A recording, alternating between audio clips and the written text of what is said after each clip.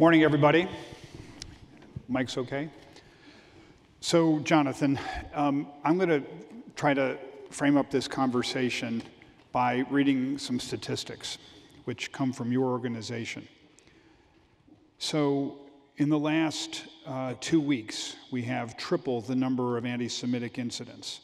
Um, we had 213 compared to 64 last year. Um, this is more than a matter of anti Semitism. The Council on uh, American Islamic Relations said it had 774 complaints on Islamophobic behavior in the same period. Uh, 200, uh, 2022 saw the highest ever number of recorded hate crimes, 11,600, since the FBI began collecting statistics. Um, in fact, the majority of hate crimes had to do with African Americans in 2022. Uh, Anti LGBTQ hate crimes jumped 20% last year. Um, among Latinos, um, we saw a 41% increase last year. Um, for anti Asian hate crimes, 150% uh, increase from 2020. Kung flu, you remember all those lovely phrases. Um, so I want you to tell us what you see causing this rise in intolerance, this rise in hate speech, this rise in America turning on itself? So I'll answer the question. First, I'll just thank Paul for the nice introduction and all of you for coming out this morning. I understand that, the, there, that uh, yesterday was a very intense day. And as Paul said, that uh, this is a group with insatiable curiosity that gets very thirsty after hours. So I'm sure you were all out late last night. So thank you for showing up for this morning session. um, Richard, I mean, I think there is no question that right now we are dealing with a sort of tsunami of hate. And I think there are three main factors that are driving it. The first factor, I think, is sort of the coarsening of the public conversation. And I think this really started in earnest in 2016 when Donald Trump ran for president. Now, I'm going to say right up, right now, up front, ADL, we're a nonpartisan, apolitical, tax-exempt organization. I don't really care how you vote. What I focus on is what you value. And I think that's what's important here. But I say that because there's no doubt that when President Trump ran, that he started saying things and tweeting things and sharing things that we'd never seen before from a serious presidential candidate. Never. George Wallace, Pat Buchanan, these were not serious presidential candidates. Lyndon LaRouche, these are not serious presidential candidates. Uh, he was, and of course he won the nomination and then he won the general. And from the things he said about Muslims, about Mexicans, his tweets like with Jewish stars and America First and his ads and on and on and on. I think he coarsened the conversation. And then, of course, when he came into office, he turned a lot of those, that rhetoric into policy. And when he was saying things on the campaign trail, it was one thing. When he was saying it from the bully pulpit of the Oval Office, it was entirely different, a lot more consequential. And, you know, on election day was such a shocking day, 2016, the day after, we saw a huge spike in anti Semitic incidents and other kinds of hate crimes. So I'll also just say that as we learn from Isaac Newton, for every action, there's an equal and opposite reaction. And as President Trump coarsened things uh, with, a, if you will, and uh, around, I would say, kind of right wing extremism, we've seen hard left extremism normalized as well. And look, we're seeing it on these college campuses. We're irrespective of the assault that happened yesterday at NYU, or the stabbing that happened on Friday at UMass Amherst, or the case of a assault that happened at Harvard, or the Cooper Union, or the death threats at Cornell. I could go on and on. Jewish students, and if you don't believe me, go ask them, We'll tell you about the microaggressions and the macroaggressions they face every day. So, number one, I think the public conversation has coarsened and the, the dialogue has dim- diminished. Number two, extremists feel emboldened. and it contributes to the coarsening. You see it in the Marjorie Taylor Greens and the Paul Gosars. You see it in the Rashida Tlaibs and Cori Bush. Like extremists feel emboldened, they're running for office, not just at the federal level, of course, at the state and local level. We're tracking Proud Boys and Oath Keepers running for school boards and library commissions. So you have extremists, I would say, in some newsrooms, in some CSR departments. Extremists feel emboldened in an environment where they're not being beat back. So number one, number one, coarsening of the conversation, the highest levels. Number two, extremists feeling emboldened. And then number three, social media, from Twitter to TikTok, you know, from Instagram to Snap, from YouTube to Facebook. Social media is a super spreader of hate. And social media, look, it, it, dulls the edges of society, I think, and diminishes our collective intelligence by reducing everything to 280 characters or to a 15 second video. And so there's no more room for nuance. And if it bleeds, it leads, uh, they say, right? And like on Twitter or on TikTok, you know, if it hemorrhages, right, it rises right to the top. So the algorithms are designed to get your dopamine going, and they deliver on that, and to the point where I think all of us suffer as a result. So, Jonathan, we had uh, 1,400 uh, people murdered in uh, Israel. Um, subsequently, we've seen 10,000 Palestinians killed in the reprisals by Israel. um, where do you see this going? What does it mean for, and, and why is anti Semitism linked to the conflict in Israel? That's a good question. So, in terms of where it's going, I mean, I'm not a, you know, a general, military general or something like that. I'm not a geopolitical strategist. But I do think, based on my conversations with folks in Israel and having observed this kinds of issues for a number of years, I think the Israelis simply can't afford to allow Hamas to continue to operate as it has with impunity in the Gaza Strip. Because the Hamas leadership has said October 7th was a glorious win, and they're going to keep doing October 7th again and again and again and again. They've been very open about that. Their charter calls not for a two state solution, their charter doesn't call for a one state solution. Their charter literally calls for a final solution, right? Their goal is not to create a Palestinian state. The charter says the goal is to destroy the state of Israel, or the Zionist entity, as they call it. So I think Israel is in a situation where they just can't allow that group, which is a terror group, according to the State Department. It is a hate group, based on what they say. It's also the government of Gaza. They're going to have to dislodge them, dismantle them in some capacity. Now, anti Semitism rears its head here because you see Jewish people being held collectively responsible by people here and around the world for what's happening in Israel. And look, this is classic, this is classic stereotyping.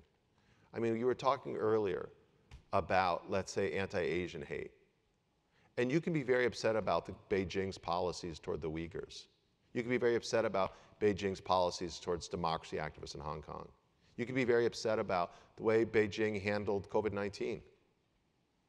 That is not an excuse to harass, to target, to victimize Chinese Americans or AAPIs of any kind. That is not an excuse to like vandalize Chinese restaurants. That is not an excuse to attack Chinese students. I mean, that's prejudice. That's racism.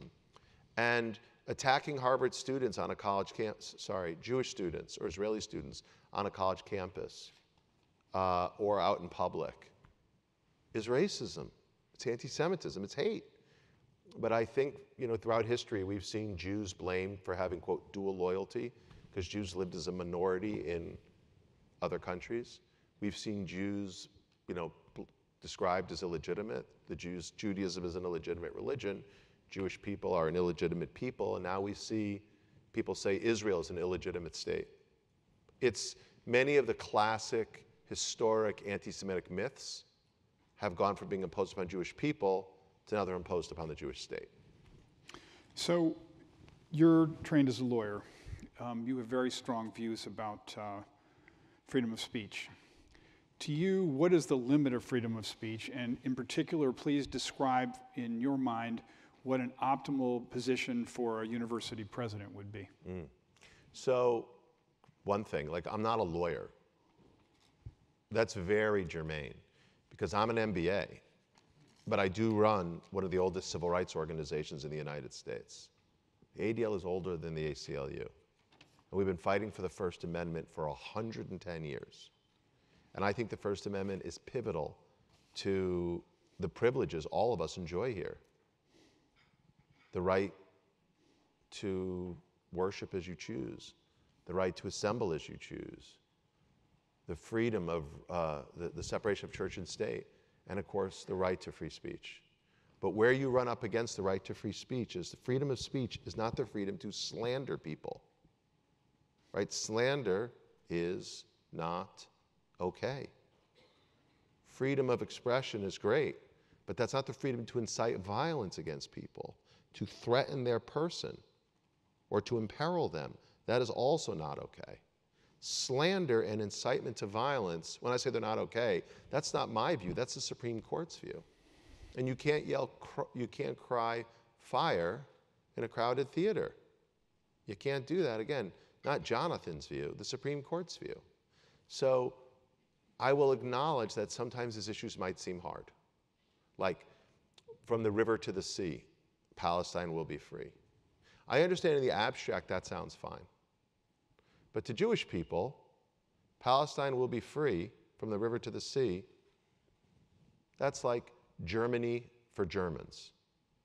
That was a slogan used by the Nazis in the mid 1930s. Now, in an abstract, that's fine. Germany for Germans sounds great until you understand that what they are suggesting there is Germany, not for Jews. And Palestine will be free from the river to the sea is an eliminationist phrase, no matter what Congresswoman Tlaib says, that's intended to suggest no Jews there.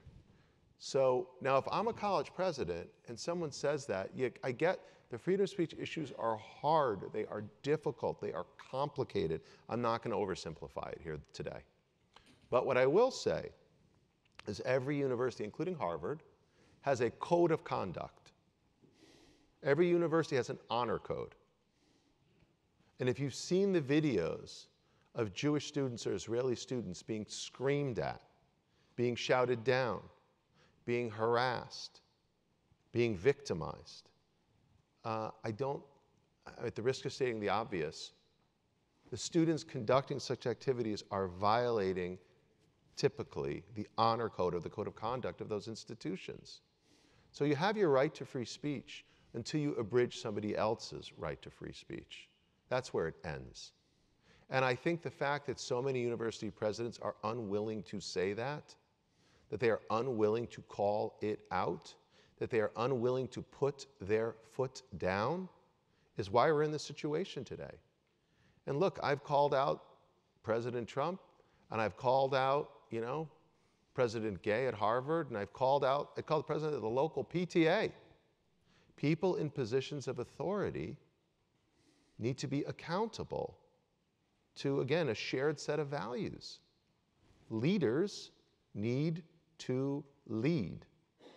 And leadership means not just doing what the masses want you to do, not just following the majority, but protecting the minority, be they Jewish or non Jewish, be they African American or not, be they LGBTQ or straight. And I think so often our uh, leadership has dithered, Richard, which is why we're in this fix. Okay, so a lot of the people in the audience are either advising companies or in companies. So, what in your mind is the right playbook for a CEO? Yeah. Speak up, don't speak up. If you speak up, um, how often? And is there, is there more that um, you should do than speak up? Is there a certain set of actions that you, as the CEO, should lead? Well, and I talked to lots of CEOs. So, first of all, full disclosure, I was a senior executive at Starbucks, uh, you know, in an earlier life. And I was a senior executive at a company called Realtor.com in an earlier life that's now owned by News Corp. Um, So I've been on that side of the table, so to speak. So, number one for the CEO, you could be like, uh, what's his name? Uh, Brian Armstrong from Coinbase. Some of you may have seen his very famous letter where he said, All we're doing is crypto. No positions, no issues. If you don't like it, you can leave. So that's one approach. I don't take a position on anything. Okay. But if you as a CEO are taking positions, and you took a position on Black Lives Matter, or you took a position on AAPI hate, it is very, or time's up. And by the way, those are all valid to do. I'm not questioning that. It, though it is very hard when you, when, you aren't, when you are inconsistent with your integrity. If you took a position on those issues and you're not taking a position on the flagrant anti Semitism, and you, I mean, the numbers that Richard shared, it's even worse than those numbers. 2022 was the worst year that the ADL has ever tracked for anti Semitic incidents in this country. It was 36% higher than the year before. So I'm telling you that we were at more than a 500% increase of acts of harassment, vandalism, and violence before October the 7th. Since October the 7th, it's gone up another 388%. So if you speak out about anti black racism and you speak out about API hate, you got to speak out about anti Semitism. And then in terms of the situation in Israel, look, if you spoke out about Ukraine, it's hard not to say anything here. 1,400 people were massacred. And there is nothing wrong with saying the massacre of 1,400 people, babies and children and women and grandmothers and all of it, that's despicable, period, full stop. Then you can say, I also deplore, you know, the civilians who are getting killed in Gaza. Now, I would argue that Gaza is an open air prison, and the warden is Hamas. I would argue that, that Gaza is occupied, and the occupier is Hamas, that has been squelching the rights of their own people for 17 years. And we, we, uh, we, can have that conversation if you want, but I would say, irrespective of Hamas, innocent Palestinians getting killed, and every innocent life that's lost is a tragedy. And we need to have the humanity to recognize that Palestinians deserve dignity and equality too. And that isn't anti Semitic to say that. It's human to say that. So I think there's a way for CEOs A, if you spoke about other domestic issues, you got to be consistent and call out anti Semitism. And then B, if you speak about global issues, you can say something about the loss of innocent lives in Gaza as well as Israel. And you can do it in a way that is reasonable and is balanced and again, is decent and human because that's the right thing to do. So, Jonathan, I want to clarify one point, which is at breakfast, you told me that you agreed with me about a two state solution. I do. You agree further that uh, settlements should be contained. I absolutely um, do. And that, in fact, um, we need to find a way to a peaceful coexistence. A hundred percent. Like, I think Israelis will not have safety and security until Palestinians also have a degree of dignity and equality. And, and by the way, Palestinians will only get dignity and equality if Israelis have safety and security. It isn't either or, it's both and. So, like the calls for a ceasefire, they make sense to me after the hostages are returned and Hamas agrees to lay down its arms and negotiate a peace deal. That makes sense to me. That would stop this madness. A ceasefire without stopping the madness is just a recipe for long term conflict. So, Jonathan, our research on trust indicates that the number one thing that employees want at the moment is comfort, a place for grieving, a place to talk, because in fact, the workplace is the number one safe place, not the neighborhood. Yeah. Eh, which is a big change. Yeah. So that's a very big expectation for employers. And because employers are the most trusted institution, what do you specifically recommend that companies do for Jewish employees, Arab Americans, you know, a whole range? Well, I think one of the things you're pointing out now is something I think that all of you have to grapple with as you advise chief executives and corporations. Cynicism is so high today. Distrust of government, distrust of the judiciary, distrust of politicians, distrust of the media, distrust of organized religion, distrust of all those institutions which for so long have held up this country. To your point, business is now the most trusted sector, if you will. And so, again, I appreciate that for the chief executive, that's complicated because you thought you were here to drive EPS and now you, or ROI, and now you're here to like make your employees feel safe. Not easy to do. Um, now, that being said, I don't, I don't know that I'm the right person to speak to what do you have to do to make your Muslim employees feel safe. But I will say, like at ADL, we do believe, and we have something called, this is something you ought to take note of. We created something called the Workplace Pledge to make it easy for CEOs to stand with their Jewish employees. And it's pretty simple. And I think the lessons of it could apply to any community. Number one, if you have ERGs, you know, employee resource groups or employee affinity groups, and your Jewish employees want one, support it. Now, I had one chief HR officer from a very large employer say to me, We don't do that because we don't have ERGs for religion. Well, you know what? Too bad. If your Jewish employees want one, and you do it for your black employees, your Asian employees, your Latino employees, employees, you should do it for your Jewish employees too.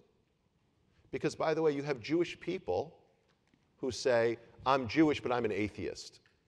I'm Jewish, but I'm cultural. I'm Jewish, but I've never been to synagogue. Because Jewish is complicated. It's not just a religion, it's also sort of an ethnicity.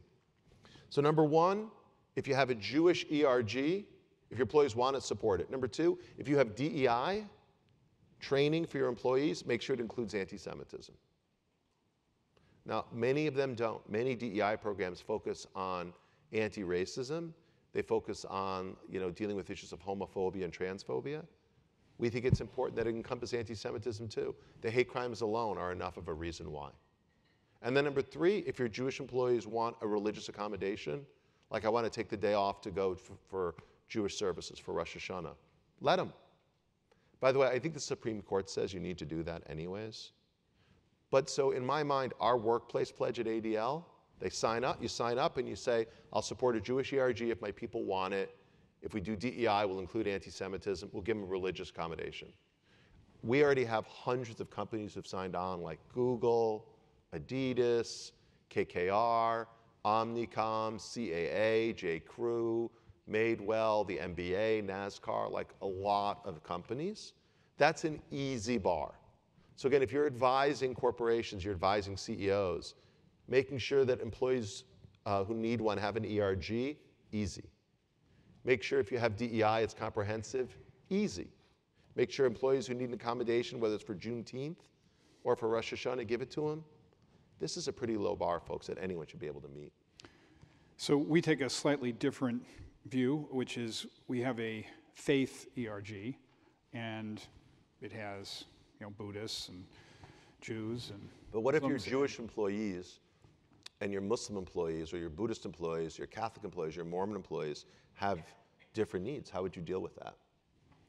Like the Mormon employees may have been feeling about abortion that isn't shared by, say, I don't know, the Buddhist employees. How do you deal with that? I think we have to be able to have these discussions. We have to be able to debate it and have a, okay, we disagree on this. Um, I don't know that we come to, even within the Jewish one, I'm not sure you get to unanimity. Just to say. The Jews, they are Five Jews, four political parties. Yeah, I mean, look, it's, I mean, there's something about it. I mean, you can have an approach that's ecumenical, where you try to bring them all together.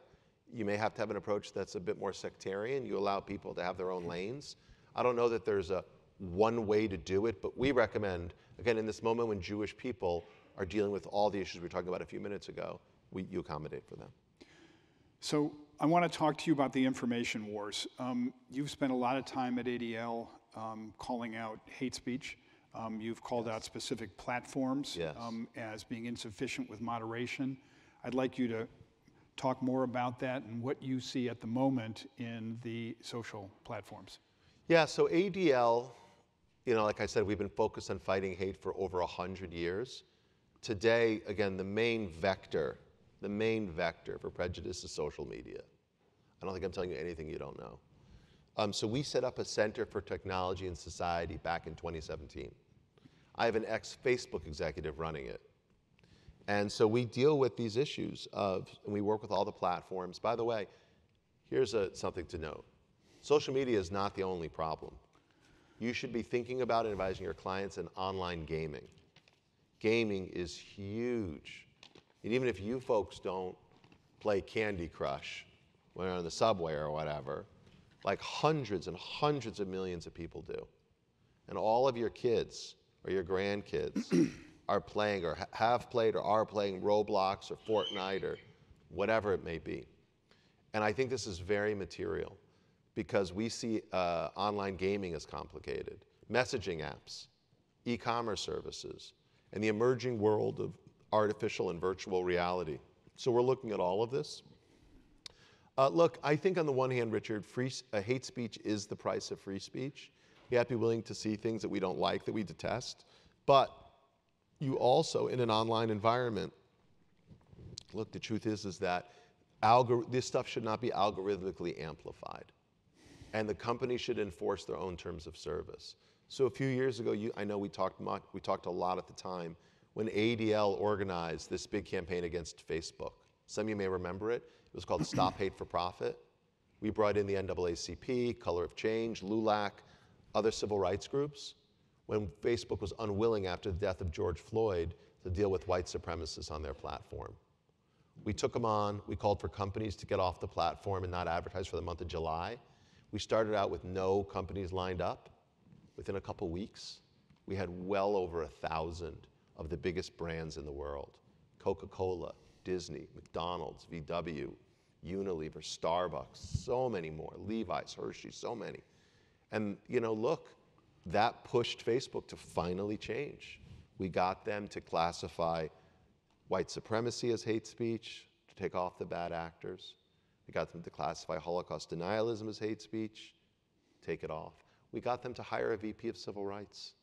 We really made an impact. And look, we've gone toe to toe with uh, the new leadership at X slash Twitter. I, am not going to, he who shall not be named. um, and that's been a challenging, it's been a sled, hike. Uh, he's a little less receptive, I would say. Because his theory is that um, the public can distinguish between that which is true and that which is false. Well, yeah, but he also replatformed some of the worst actors who previously had been taken off. He also fired everyone on the trust and safety team. He also fired everyone in the election integrity team. He also changed the way they verify accounts. So now you get a blue check, not if you're actually a legitimate voice, but if you're willing to pay $8 a month. I think they call that payola. So it's a very different ballgame. And I think, look, the, engage, the, the engagement on Twitter or X reflects the changes. X is a less utilized platform today than it was two years ago. X is a less, it brings in a lot less advertising revenue than it did two years ago. And I think it's a lot less of a trusted source than it is two years ago. Not my opinion. Like, you can look at the data, you can look at the stats and draw your own conclusions. But if you're a communicator and you see falsehoods on platforms, you have to intervene. And you need to be assertive and uh, you need to have multiple voices make the case. Well, this is a good point. Like, and this is a learning for me. I mean, uh, what I remember learning in comms is that when someone says something that's untrue online, just ignore it. Ignore it. Let it go away. That doesn't work. That does not work. Someone throws something up against you, you hope it goes away. Guess what? It never does. It stays floating in the ether to be retweeted and repeated by all kinds of crazies. So I do think that whereas my view was once let it go, like a, like a Disney movie, uh, now I think you actually have to take it on. And you're better off countering the, the slander and pushing back against the lies rather than thinking it's beneath you to respond to them. The trick is how do you respond? Because it's hard. If you respond head on, you can dignify what's undignified. You can give oxygen to what you want to put out. So you have to be clever in how you do this so you can you can push back and yet not inadvertently promote promote the lies.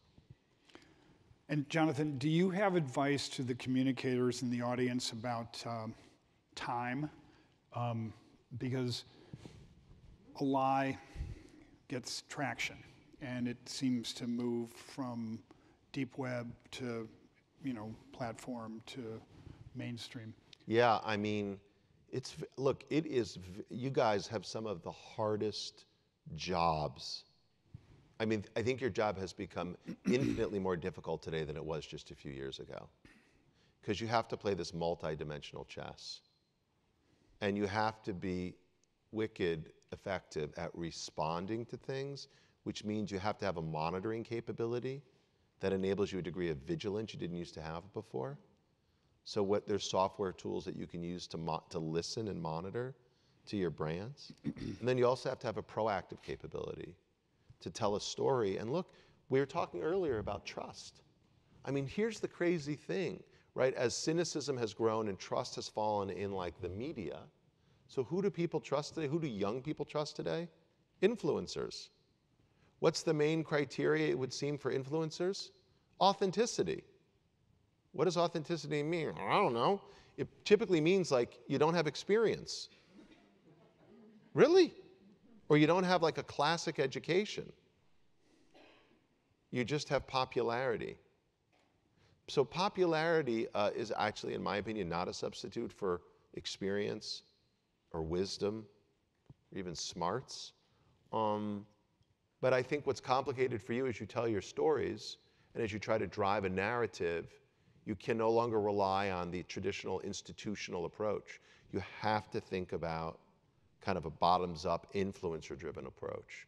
Because those are the means by which, particularly like an 18 to 24, 24 to 32 year old demographic gets their information today.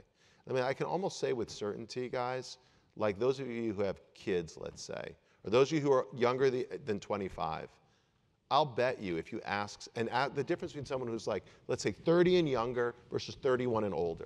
If you're 30 and younger and you ask someone, what time is like, if you're 31 and older, here's a question. Let's just do a, a, a thing, okay? Bill Maher, real time, HBO. Do you know when it's on? Raise your hand if you know what day of the week it's- on HBO and what time it's on. Raise your hand if you know. Really, am I like, there's only two people in the audience? Three, four? Now, when, now, if you don't know what time it's on, what, do you know what channel it's on? Okay, pretty much everybody. I can't believe nobody knows what channel it's on. And if you're 20, 30 and younger, do you know what time Bill Maher is on? If you're 30 or younger, do you know what channel Bill Maher is on? You are not younger than 30, young man. I mean, this is the truth. Like, young people today don't watch anything. What do they call it? Destination viewing or something like that? Linear viewing? Like, there's a youngish crowd in front. Like, do you ever go to the television at a particular time and turn on a channel? Would you ever think of doing that? My kids laugh at me when I say, hey, where's the clicker? My kids think I'm like from outer space. So, John- I say so- this just because linear storytelling is dead. But John, it's more than that. It's if you're in crisis comms, you have to not just wait for debunking stories, you have to pre-bunk stories. Important theory. You have to think about where the attacks are coming from and then establish certain experts in advance and have facts out there that undermine the thesis. And I think the Ukrainians did a superb job of this on the rationale for the Russian invasion. Yeah. Because the Russians like, well, we're coming to reclaim our long lost territories because everybody speaks Russian here. And the Ukrainians said, sorry, not so. We don't want to be invaded. They're about to invade us. And that was pre bunking. And it's a perfect example. Yeah, I haven't heard that term pre bunking before, but it's true. Use it, it's good in pitches. Gail we'll let you use it. It's good. It's a good one. no, but the, the key point is don't sit and wait. You can uh, hit your opponent a little before they hit you. It's, it's a smart idea. Jonathan, how do you conduct your own PR? How do you look at yourself as a leader? How much media is the right amount? What are you thinking about um, your positioning as, as a guy who's, God knows, the last three weeks you've been Mr. On Air? Yeah, it's funny. Um, so I would not have expected to be in the role that I am. I mean, the head of the ADL historically, like my predecessor was a guy named Abe Foxman. He was a spokesperson on issues of anti Semitism. I, I, I came into ADL thinking I was going to run the organization like a business, because that's how I, what I knew how to do. And yet, the week I started on the job was the week that Donald Trump announced his candidacy. And it was like the wheels came off. And so, whereas I wanted to be a CEO who was focused down on running my organization, I quickly became a CEO who was focused out on telling a story and representing a point of view and speaking out, like against the Muslim ban and all his other lunacy. So, it's funny, like, I don't know that I get credit for some master plan on PR, but what I have tried to do in moments is communicate a clear and cogent message, is to speak again in short, smart sound bites and to always go in prepared. So I think tactically I do okay, which is why I get asked back. I think strategically I don't think I get credit for some master plan because I don't really have one. But what I've tried to do with ADL, I will say, is whereas I think when my predecessor ran it, it was much more parochially focused on the Jewish community. By speaking out against the Muslim ban, which was despicable, it wasn't hard to do, and by speaking out against his, like, the president's slandering of Latino people, and by speaking out in support of uh, the African American community, and speaking out against anti Asian hate, and speaking out against anti LGBTQ bias. Like, suddenly, I think ADL has been able to reestablish itself as a voice against all forms of hate. So that when I talk about anti Semitism, I, I think I have more credibility because I've been willing to stick my neck out for other communities. Now, again, like, I don't know that I deserve so much credit for that. I think it's just the right thing to do, but I think it's helped my case. So, I guess to answer your question, by taking the long view, by trying to be taking a universal approach, I think it's allowed me to be more effective advocating for my own community. And some part of your communication strategy when there's not a crisis is also intellectual property. So you will do Oh, yeah. studies and keep Yeah, the. that's a great point. So, I mean, at eight, like I've tried to productize ADL. So we moved from just rapid response to being proactive. Instead of having programs, we have products. And we have research products, and we think about them as tent poles. So every year we do a, a domestic um, audit of anti Semitic incidents. We collect all the incident data, and we build a whole comm strategy around releasing it. And then I take that comm strategy and then I, I, I, I um, break it up. So it's a national audit. And now we do state reports hate in the Sunshine State for Florida, hate in the you know, uh, Empire State for New York. And we make it relevant in local markets, which helps with our ability to get local press. So we have annual domestic, we have annual global. Again, 10, we have an annual report of online hate. So these tent poles create pivot points all throughout the year. And then we try to break it up to have regional press around that too. So I'm just going to get a quick show of hands in the uh, audience. How many of you serve on nonprofit boards? That's great. And of those of you who don't, is it because you are young and don't have the money yet to afford the board seat and all that? So raise, your hands if you want to in the future. Just so I, okay. I have to say, there's never been a more important time for all of you to sit on nonprofit boards because people like Jonathan need advice. They need, um, okay, we have a crisis. What do we do? Um, we have opportunities, which media to speak to, and so please do it, in short. I mean, I- I'm no hero, but I'm sitting on eight now because I can't say no more than anything, but I, I feel really good about it. And, and I think, you know, it's our responsibility to do it. Yeah, and I would, can I just build upon what Richard's saying? Like, it's about more than money. Like, people like me, we need 30 somethings and younger to help us understand, like, again, how to navigate the new communications landscape, how to tell stories in a nonlinear environment. And so, don't doubt what you bring to the table. And even if you can't write a big check, you can raise your hand and volunteer and say, hey, I think I can help. And so, there may be ways to get involved before you're on the board of directors, where you can be a hyper engaged volunteer and work your way up. Trade off on your skills, if you will, Trade up, trade. I mean, use your skills to trade up, even if you don't have, you know, the checking account yet to pay the bills.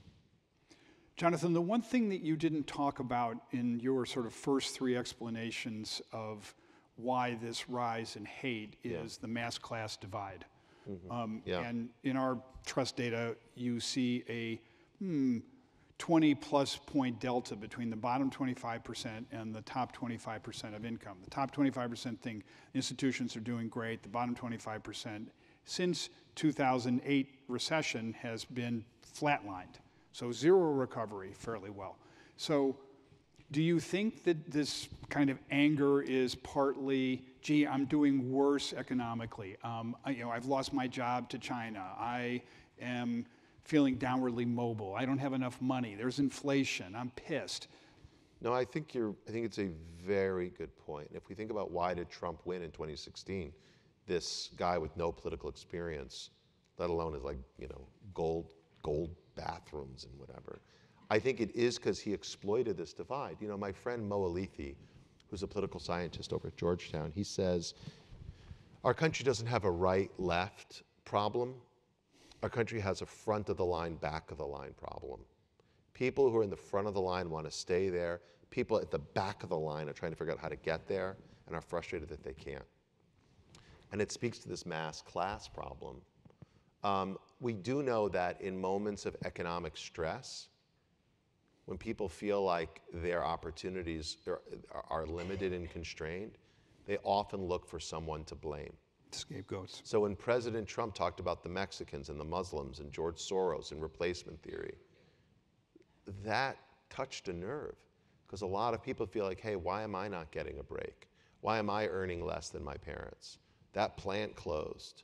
I have the, you know, the, that store closed. I have less opportunities than, I, than the previous generations. And that sense of grievance that he fed is very strong. And look, after 2008, when no one from the banking industry went to jail, that kind of fed a narrative that the deck was stacked against normal people. I understand that.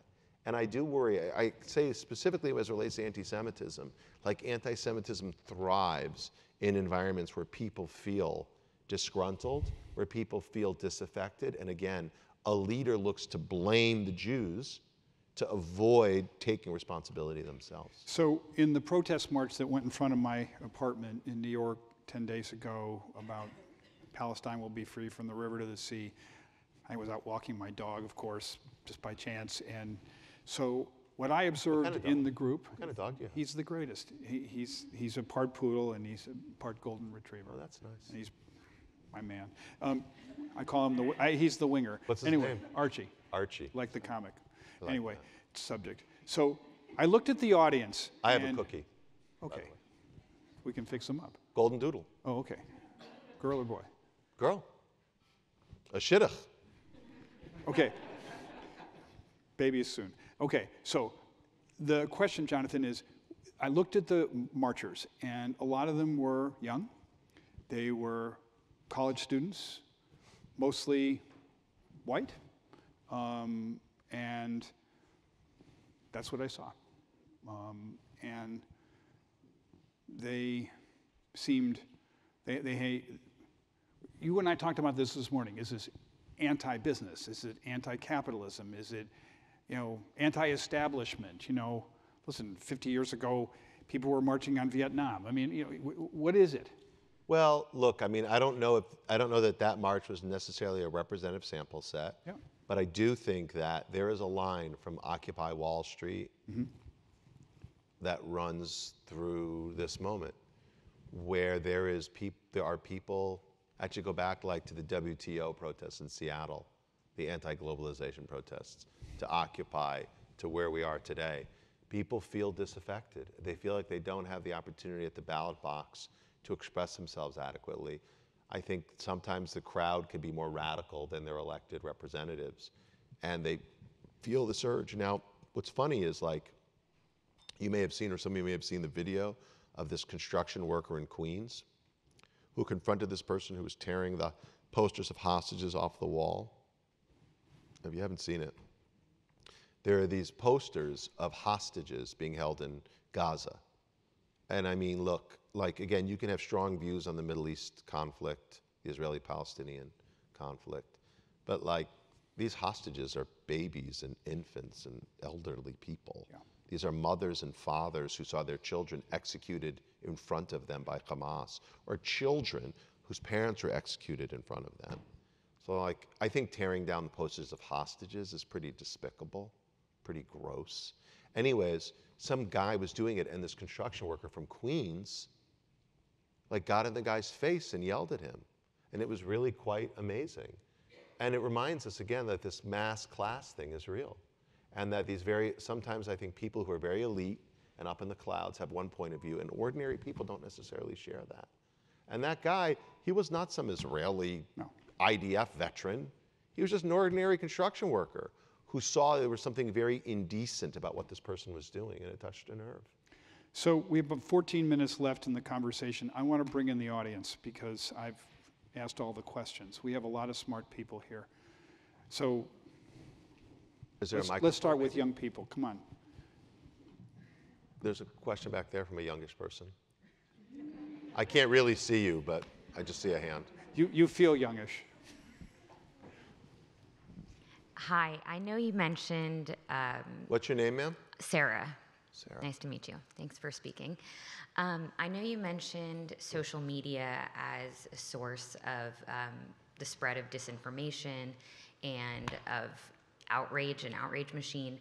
Um, sh- besides creating legislation to, um, you know, make social media companies change the algorithms and change what they share, how would you recommend um, combating disinformation spread on social media?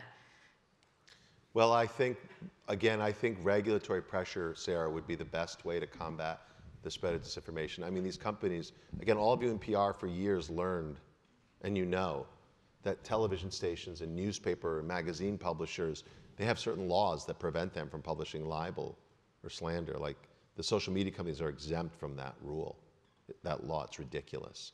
But absent that change, what can you do? I think reputational pressure, revenue pressure, and uh, shareholder pressure. So, revenue pressure is talk to your advertisers and pull your ads from platforms that are going to put your brand up alongside lies. It's not exactly good for your brand. It's being advertised next to horrible Hamas, pro Hamas content or pro KKK content. Secondly, reputational pressure. Like, again, nothing's been more effective than the grassroots pressure against brands that get it wrong. And those kind of campaigns can be organized. And then thirdly, shareholder pressure. Like you can, people can buy shares and show up at the meeting and really embarrass the leadership. Now the challenge with companies like Twitter is private, Reddit is private, companies like Google, which owns, or Alphabet, which owns Google and YouTube, or Meta, which owns Facebook and Insta, or Snap, they have share structures. So the voting shares, all the power is with the original founder. So they're a little bit less uh, vulnerable to shareholder pressure, but nonetheless, you can still make a lot of noise in a shareholder meeting and create problems. So those are the three levers I think you can pull. Sir. Hi, Phil Kaplan. Um, oh. Hi, Phil Kaplan. Um, where does it all end up? I don't mean, you know, in the Middle East, but culturally speaking, you know, what, what does the future hold for us all as individuals on the street? That's a good question, Phil. Like, it's a big question. Um, look, I really think, I was hoping that President Biden would be sort of the post political leader who could bring together the right and the left. I think this country desperately needs that. I worry a great deal about who the next president will be in 2025, let's say. Because if it is a divisive figure, I think it would be deeply damaging to America and to our sense of cohesion. So I don't know where we end up necessarily, but I do believe that a divisive national leader could be terribly damaging to the country's very fragile sense of cohesion. So I think the stakes are high. I mean, I wrote a book last year called It Could Happen Here. That was focused on the fact that, you know, I'm a grandson of a Holocaust survivor from Germany who thought Germany was the greatest country in the world until it turned on him and turned him into an enemy of the state and killed everyone that he ever loved. And he came here. And I'm the husband of a political refugee from Iran. And you know, my wife's Jewish from Iran, and they thought Iran was the best country in the world until it turned on them, regarded them as enemies of the state, and destroyed everything they ever loved, and forced them to come here. So Iran was a great country before it wasn't, and Germany was a great country until it wasn't. Like, don't think that America will always be what we want it to be if we don't fight for what we have. That's really the lesson. We've got to fight to keep the privileges and rights that we enjoy intact. So I just had a couple of thoughts for people in the audience. One, we have to make sure that our clients are encouraging people to vote next year, that they're registered, here, hear. and that they get out. You should all clap for that. Like, that's the best thing I've heard today.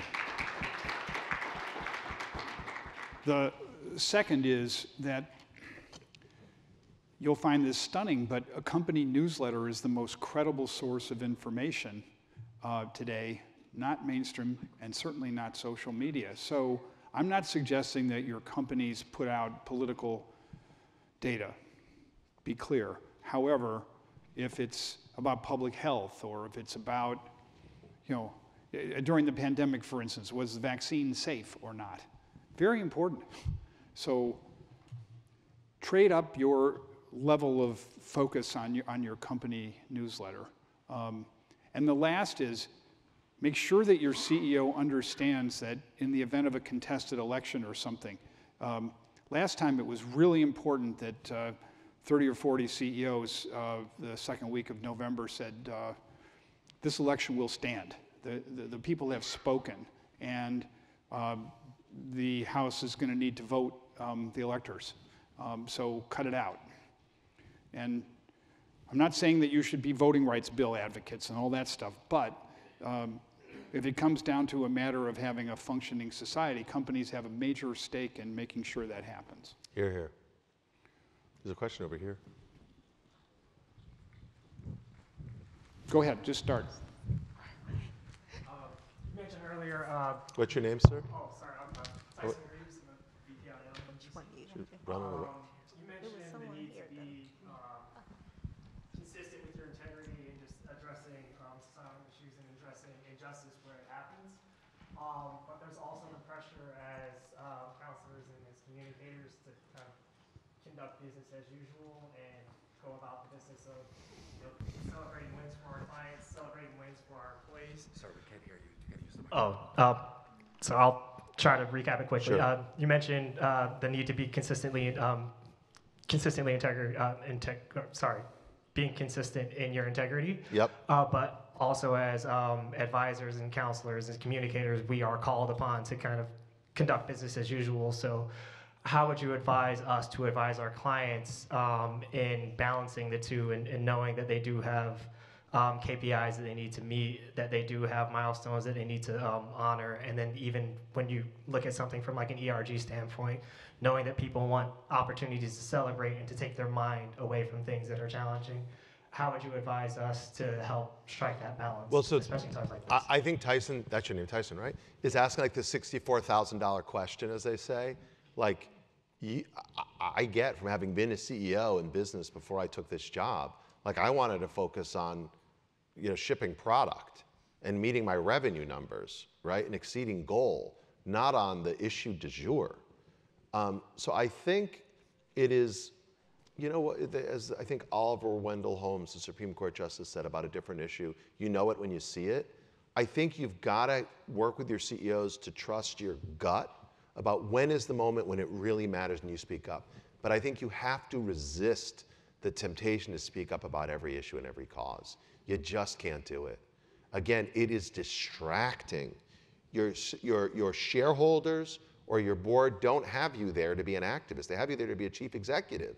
Now, again, chief executives are trusted in a way that other institutions aren't. So you do have to show up, but you've really got to pick and choose your spots.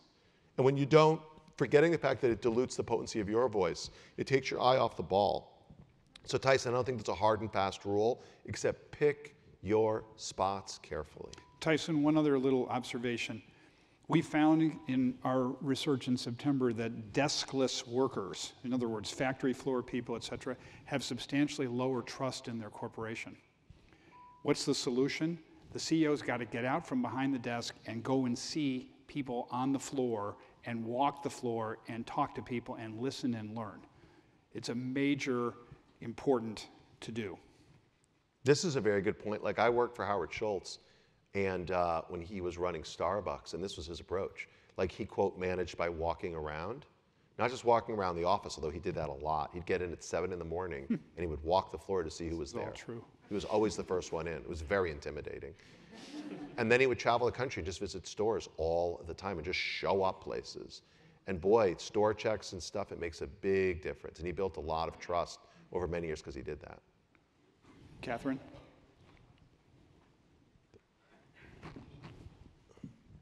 Thank you. The sound man told me to wait for the mic. Uh, Catherine Blades, my dog's name is Beignet. He has a hashtag, he's trending, and he's super cute. Oh, wow. Um, November 5th, 2024 is a big day.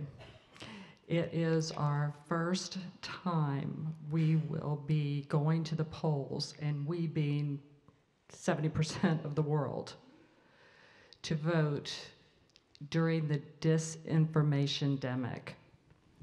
Generative AI, it's our first generative AI election. So, how are you counseling the people that you counsel on how to get in front of what's going to happen next? You talk about a tsunami, this is definitely it. You go first. Uh, You go first, actually.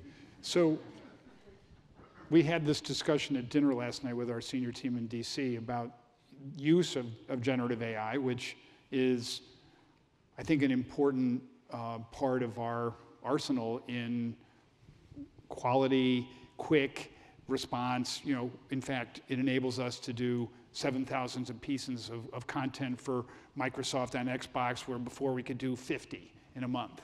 Um, that said, what I mentioned about disinformation and feeding garbage into machine, enabling bad stuff to come out, we have to be much, much more careful about our editing process and have multiple levels of review um, before things go to client.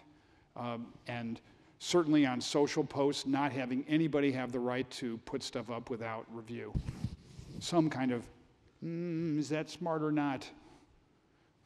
You'll remember a certain beer company had a problem over the summer. Um, careful. I think that's right. I mean, we're very worried about GAI. I mean, Gen AI is going to be very problematic in terms of fighting hate.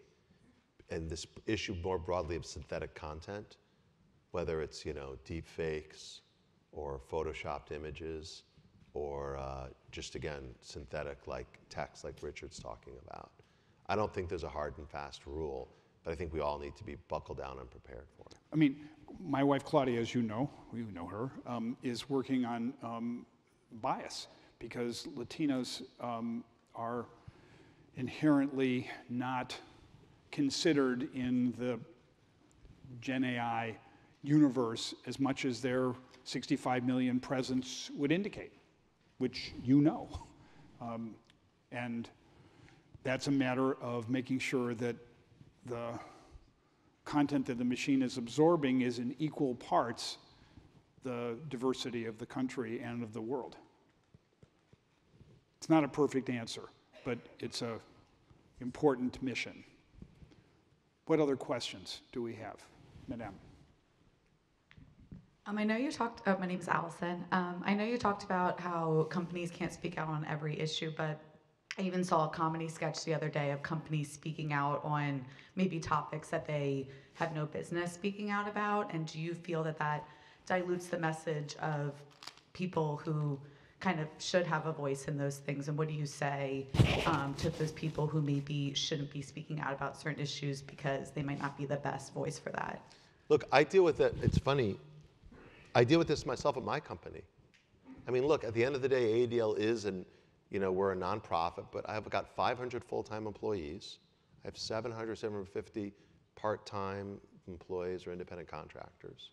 We've got a, almost a $100 million budget, 25 offices. So I have my people that say we should be speaking out, we should be speaking out.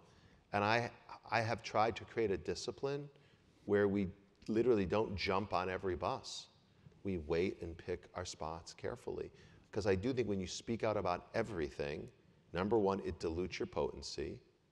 Number two, then you get, you get caught when you don't speak out about an issue. You spoke out about this, but not that. So you find yourself like on this kind of hamster wheel that you can never get off of. And then thirdly, as I was saying to Tyson, I think it's distracting relative to your goals. So the answer isn't, well, then don't ever say anything. I mean, you could make that your approach. Again, Brian Armstrong, the CEO at Coinbase, he said this. He said, We are never speaking out about anything. We are focused on our business, and if you don't like it, you can leave. Jonathan Neman, the CEO of Sweetgreen, said something similar. He said, We are not going to speak out about anything. We're just going to focus on making salads. I mean, that's an approach, but if you don't have that kind of clarity and you don't consistently apply that, you've got to really pick and choose your spots carefully. And I just don't think there's a hard and fast answer. The only thing I would say that may be material is relative to your business. So when I was at Starbucks, our focus from a CSR point of view was on A, being volunteers in the communities where we had stores.